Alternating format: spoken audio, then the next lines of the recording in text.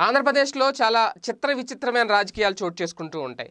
సొంత పార్టీ నేతలే ఒక్కొక్కసారి ఆ పార్టీకి వ్యతిరేకంగా మాట్లాడుతూ ఉంటారు. అంటే వాళ్ళు నోరు జారారు అని అనుకోవాలో లేదంటే కాస్తంత అతిగా రియాక్ట్ అవుతున్నారు అని అనుకోవాలో తెలియదు కానీ సొంత పార్టీని బదనాం చేస్తున్నాము అని కనీస ఆలోచన లేకుండా వా మాట్లాడేస్తూ ఉంటారు. ఏమన్నంటే నేను ఉన్నది ఉన్నట్టు మాట్లాడుతున్నాను అని చెప్పి మళ్ళీ వాళ్ళకి వాళ్ళే సర్టిఫికెట్లు ఇచ్చుకుంటూ ఉంటారు. తాజాగా ఆంధ్రప్రదేశ్ రాజకీయాల్లో ఈ మధ్యన ఇది ఎక్కువగా ఎవరి నోటి నుంచి వినిపిస్తుంది?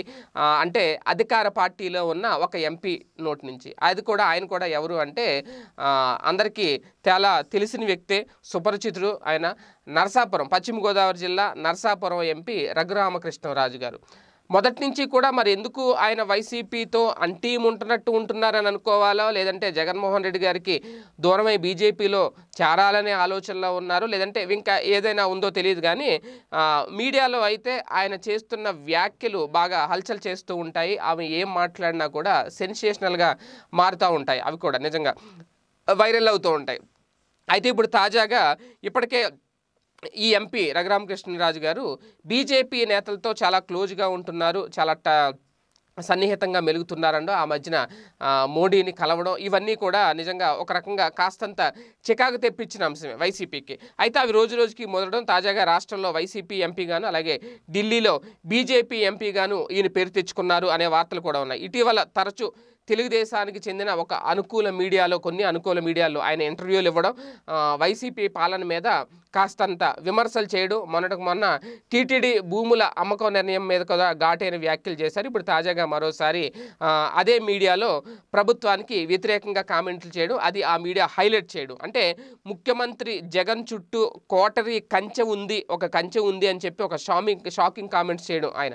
అంతేకాకుండా రాష్ట్రంలో ఇసుక సమస్య కూడా తీవ్రంగా ఉంది. ఈ సమస్య మీద తాను ముఖ్యమంత్రికి కూడా లేఖ రాస్తాను అని చెప్పి తాజాగా వ్యాఖ్యలు చేయడు. అంటే ఏమాత్రం ఛాన్స్ దొరికినా సరే జగన్మోహన్ రెడ్డి గారి మీద బుర్ర జల్లే ప్రయత్నం చెయ్యాలి అని చెప్పి చూసే మీడియా ఏదైతే ఉంటుందో ఆ అనుకూల మీడియాకి ఈయన ఆయన అనుకూలంగా మాట్లాడడం అనేది నిజంగా జగన్మోహన్ రెడ్డి గారికి వైసీపీకి కూడా చికాకు తెచ్చి తెప్పిస్తున్న. అంశం అయితే ఈ కామెంట్లు ఏవైతే ఉన్నాయో ఆయన చేస్తున్న కామెంట్లు వాటికి విపరీతంగా వైరల్ అయిపోతున్న ఆ కామెంట్లు. అదే నేపథ్యంలో వైసీపీకి కూడా కాస్తంత చికాకు పుట్టిస్తున్న సందర్భం. ఇటువంటి టైంలో జగన్మోహన్ రెడ్డి గారు ఏ నిర్ణయం తీసుకుంటారు?